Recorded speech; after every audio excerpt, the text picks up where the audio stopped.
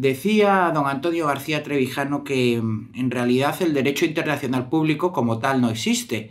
Y luego matizaba que cuando hacía esta afirmación se refería al derecho internacional público mm, universal, que en realidad el derecho internacional privado está fuera de toda duda que, que sí que existe en cuanto a normas de comercio, en cuanto a normas de derecho civil, en cuanto a normas de aplicación en el ordenamiento interno, fruto de las relaciones privadas internacionales, pero que el derecho internacional público como tal no existía. Cuando dice esto, efectivamente se está refiriendo a que no existe un derecho internacional público. Sí existen, evidentemente, un derecho internacional pero de ámbito limitado. Eh, pues eh, existen tribunales eh, que son fruto de tratados internacionales a los que se está adherido o no se está adherido, pero no existe un derecho internacional público universal. Esto viene a cuento del asunto también, naturalmente, de la guerra de Ucrania y en cuanto a la alegación en la prensa la opinión publicada de la alegación de, derecho internacional para ciertas cuestiones que allí se están sosteniendo. Bien, eh, es importante poner de manifiesto que para que existiera un derecho universal, público, auténtico, y también, como decía don Antonio García Trevijano, debería darse una triple exigencia que no existe en la actualidad, que existiera una policía mundial, unos jueces mundiales y unos legisladores mundiales. Nada de esto existe. En consecuencia, lo que estamos hablando en realidad es la aplicación de unos tratados en los que los países son parte de los mismos como sujetos de ese derecho internacional. Pero no podemos hablar de un derecho internacional público como equivalente a un derecho eh, universal, sino simplemente como una cuestión de eh, enjuiciamiento eh, o de aplicación de normas que son fruto de, de, tratados. Al fin y al cabo, el derecho internacional público es quizás el máximo exponente de la lucha por el derecho, en las palabras que, o como así lo defendía Rudolf von Jering, ¿no? en cuanto, o por oposición al decantamiento sabiniano de del derecho como una constante evolución, sino como una lucha constante para imponer el derecho propio eh, y conseguir así eh, su dominio o su estabilización en el marco eh, jurídico o en el ordenamiento jurídico. en este sentido, parece que se está intentando hacer una mala interpretación de la frase que también falsamente se atribuía a Maquiavelo de que los fines justifican los medios. Maquiavelo ni dijo eso, ni esa frase puede interpretarse de su obra. En realidad lo que venía a decir es que el éxito consagra la licitud de los medios, que es otra cosa bastante mm, diferente. Al fin y al cabo, el derecho internacional público de poder hablar eh,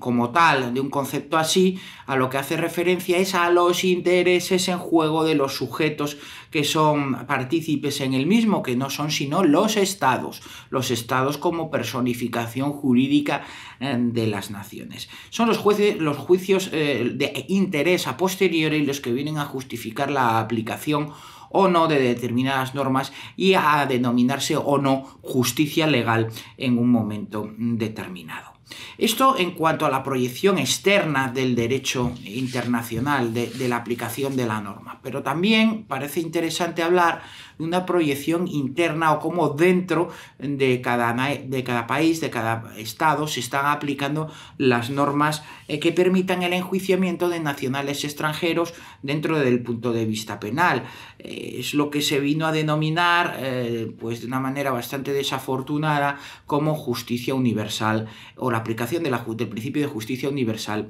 en España. Efectivamente, desaparecida la justificación de la Audiencia Nacional, por ejemplo, esto es un ejemplo máximo, en España,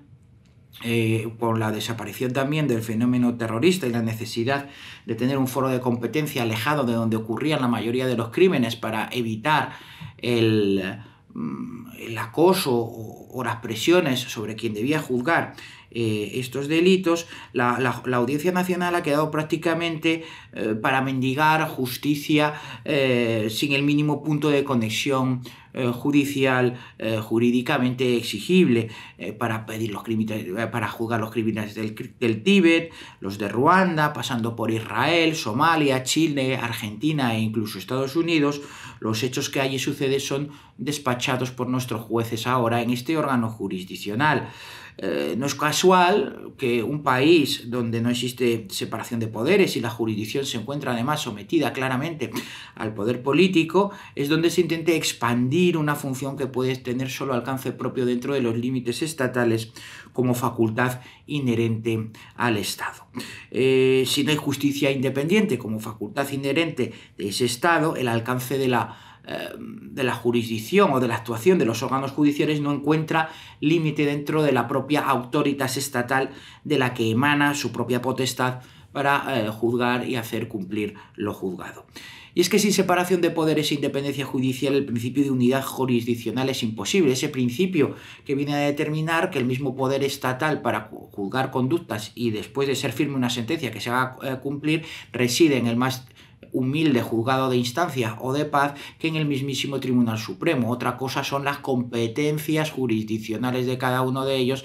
para llegar a esa solución judicial, pero que una vez obtenida la solución judicial, eh, tan ejecutable es una sentencia de un tribunal de primera instancia como la del mismo eh, Tribunal Supremo. Eh, la ausencia de esa auténtica función judicial estatal independiente, de esa jurisdicción, de esa unidad de jurisdicción,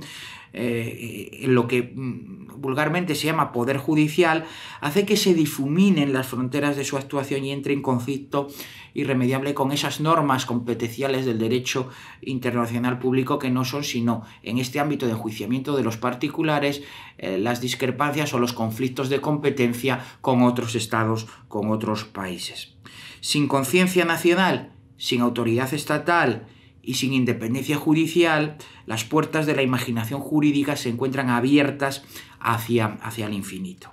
Eh, por eso la inseparación de poderes y la dependencia judicial no solo conllevan irrevisiblemente la politización de la justicia, como vimos en otros programas, sino también el proceso inverso, la judicialización de la política, de tal manera que las querellas ideológicas tienden a resolverse no en la arena política, sino en la arena eh, judicial.